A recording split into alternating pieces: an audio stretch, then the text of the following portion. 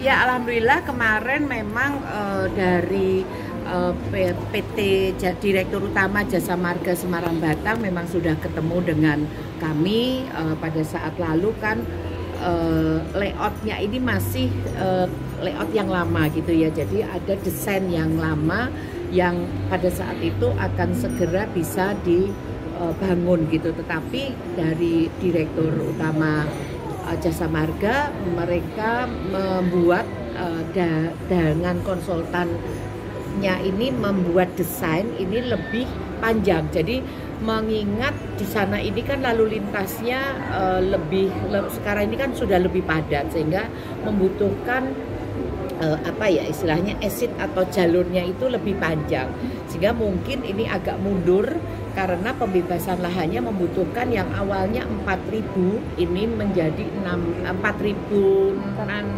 meter persegi sekarang ini berubah menjadi 6 hektar. Nah, sehingga memang dibutuhkan anggaran-anggaran pembebasan yang lebih lebih banyak.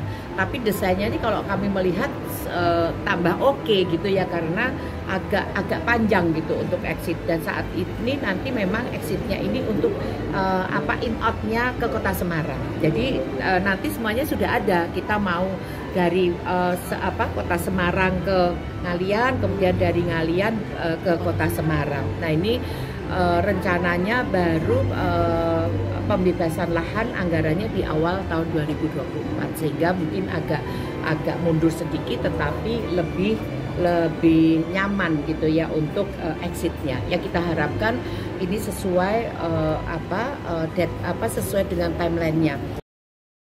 Jangan lupa follow, like, dan subscribe sosial media Tribun Jateng.